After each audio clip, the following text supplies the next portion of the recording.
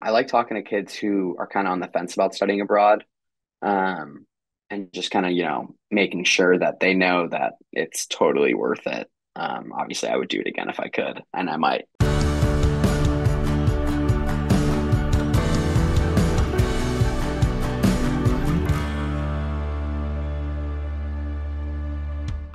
I go to the University of San Diego and I studied abroad in Prague in the fall of 2022.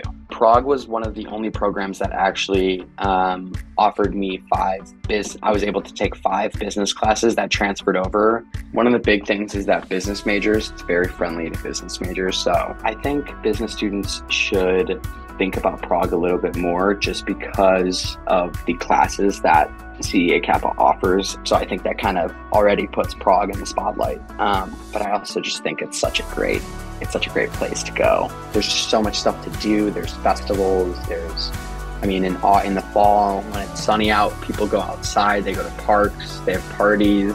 In the fall and winter, you know, there's hockey games to go to. There's just so much stuff. The Christkindl markets, obviously. I mean, from November to Christmas, it's amazing. But just like meeting people from different cultures, you understand, you know, how different people operate and you understand how to talk to different people.